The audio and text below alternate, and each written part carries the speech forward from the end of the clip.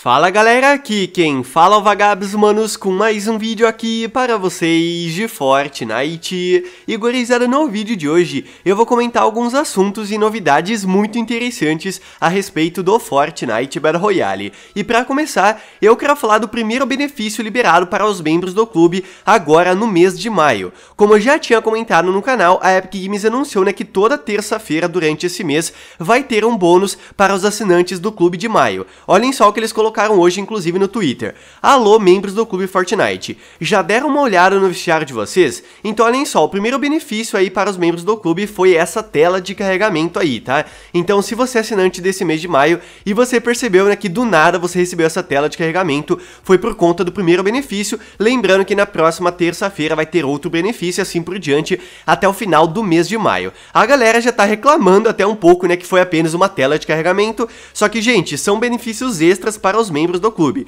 A Epic Games nunca falou, né, que vai ser uma skin extra, né? Eu acho muito difícil isso acontecer, porque seria um prêmio muito legal, né, um benefício muito bom. Eu acho que vai ficar mais ou menos nesse tipo, tá ligado? Tela de carregamento, quem sabe, né, uma mochila de vez em quando, um emoticon, alguma coisa assim, né, nada tipo super extraordinário. Mesmo assim, né, claro, como se trata de um bônus, uma parada bem legal, né, para os membros aí do clube. E olhem só, mas outro assunto que eu quero comentar é sobre a loja. Ontem foi lançado então, né, o pacote Batman Zero. Esse pacote já tinha sido vazado, já tinha mostrado aqui no canal, você pode ainda comprar o pacote que vem todos os itens do conjunto pelo preço de 2.100 V-Bucks. Então, se você tá afim de comprar skin, vale muito a pena você comprar o pacote, já que é somente né, 600 V-Bucks a mais que a skin, e vem além da skin asa delta, picareta e também a tela de carregamento aí do conjunto. E por conta aí do lançamento desse pacote, a Epic Games também fez um trailer aí, né, para o lançamento, que ficou muito legal, um trailer dublado, inclusive, que eu vou colocar no final do vídeo, então se você quer dar uma olhada no trailer, fica até o final desse vídeo, tá? E galera, a Epic Games acabou de divulgar, né, vou dizer assim, um pequeno teaser do Miausclo, uma espécie de tirinha em que dá pra ver, né, que ele tá ali morrendo de fome e ele encontra um peixe, ele vai comer o peixe e ele se transforma em alguma coisa ali no último quadrinho, né? E tipo assim, na legenda Epic Games colocou o seguinte, parece que a curiosidade pegou esse gato de jeito, em que tipo de problemas o nosso querido Miausclo se meteu agora? Então, manos, eu acho, né, eu acho não, tenho certeza que isso, né, tem relação com a nova skin cartoon do Miausco. Para quem não sabe, eu já tinha comentado no canal na última atualização, foi encontrado nos arquivos né, uma nova skin do Miausco que está sendo desenvolvida, uma versão dele de cartoon.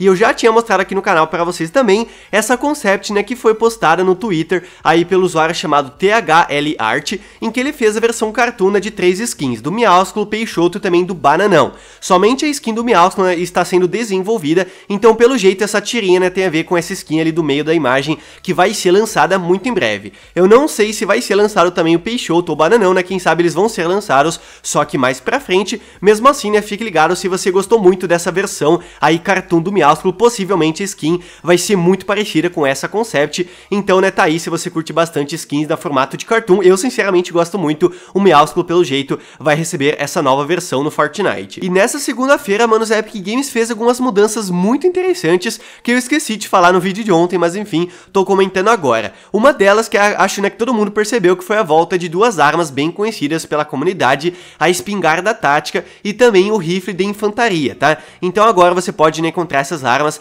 aí já na partida. E outras paradas também muito interessantes que eles modificaram foi o seguinte, eles dobraram novamente a chance de encontrar materiais de criação nos saques de chão, ou seja, né, isso inclui os ossos de animais e também as peças mecânicas, 50% mais partes mecânicas ao quebrar carros, então agora você tem mais chance de encontrar parte mecânica, né, quebrando caminhão, veículo, aí espalhados no mapa, aumentamos a chance de saque em pontos de pesca, entrega de suprimentos e baús de bunker, favorecendo as armas clássicas. Então eles já tinham feito esse buff nas armas clássicas há um tempo atrás e agora novamente eles buffaram né, a chance de você encontrar nos baús né, e tudo mais as armas clássicas, tá ligado? Ou seja, a M4, né, a Pump e tudo mais. Então tá aí, né, mudanças realmente bem legais e eu sinceramente gostei disso, né, tá mais fácil agora de encontrar peças mecânicas, armas clássicas também que a galera gosta bastante. Então tá aí, né, mudanças bem legais que eles colocaram aí na gameplay nessa segunda-feira, caso vocês não sabiam. E rapaziada, eu tinha comentado com vocês, né, que recentemente o modo laboratório de batalha tinha sido removido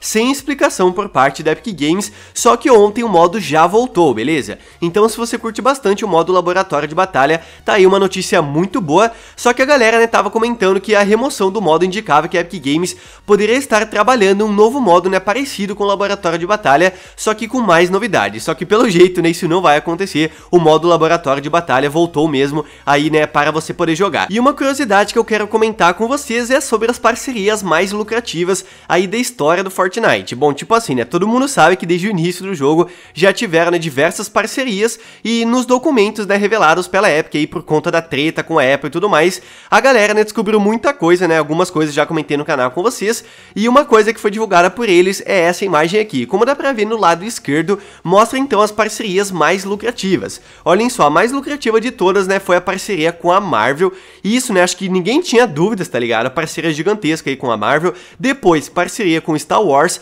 a NFL vem logo em seguida, depois Travis Scott, né, quase empatado com a NFL, depois Marshmallow, DC, John Wick, parceria com o Ninja, com a Nike, com o Drake e também com Borderlands 3. Então tá aí, né, as 10 parcerias mais lucrativas aí da história do jogo. Eu já imaginava, né, que Marvel e Star Wars iam estar no topo, eu pensava que a DC, né, tava mais acima. A NFL me surpreendeu bastante, eu não imaginava que ia estar em terceiro lugar, tá ligado? Pelo jeito a galera gostou das skins, também, né, teve o um modo sendo lançado no jogo e tudo mais. Travis Scott, né, a galera também amou a skin Marshmallow logo em seguida. Então tá aí, né, para fins de curiosidade, as 10 parceiras mais lucrativas aí da história do jogo. Será que no futuro vai ter uma parceira que vai superar a Marvel? Eu acho bem difícil, mas quem sabe né, no futuro pode ter alguma outra parceira aparecendo aí pelo menos nesse top 10, né? E um detalhe também, né, antes que vocês se perguntem, né, qual parceria o Fortnite teve com a Nike, foi por conta daquele bando, né, do Jordan lançado um tempo atrás, né, que teve também aquele modo por tempo limitado, enfim, né, tá ali no canto direito da imagem, dá pra ver a explicação da Epic Games, né, no caso aí dessa parceria com a Nike, né, caso aí você tava se perguntando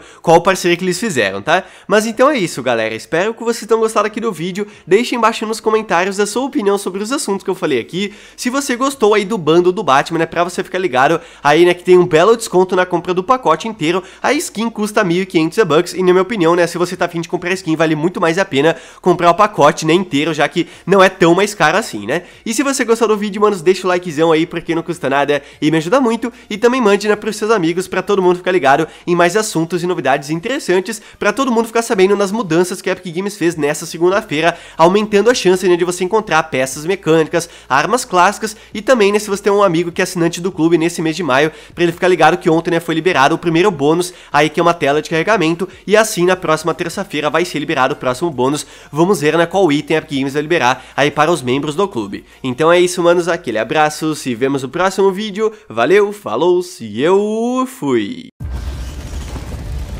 Se tem uma coisa que eu sei a seu respeito, é que quando tudo está perdido, quando não há saída, você nunca, nunca desiste. Não sei onde você está, ou qual desafio está enfrentando. Mas tenho muita pena de quem ficar no seu caminho.